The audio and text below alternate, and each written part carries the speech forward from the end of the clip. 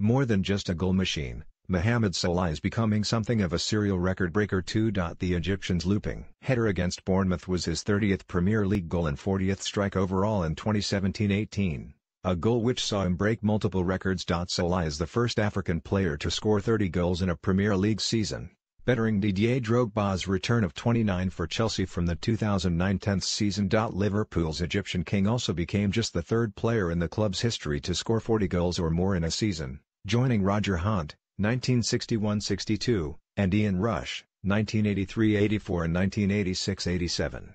If that wasn't enough, he also became the first player to score 30 league goals in Europe's Big Five leagues this season. Whilst Salah has stolen many of the headlines at Anfield this season, he is not alone in his devastating attacking endeavours. Something of a forgotten man this season, Sadio Mane has been quietly ticking along, and putting up impressive numbers too. Mane's early opener against the Cherries saw him become the highest-scoring Senegalese player in Premier League history with 44 goals, one more than Demba Ba, 43, managed during his three-year stay in England.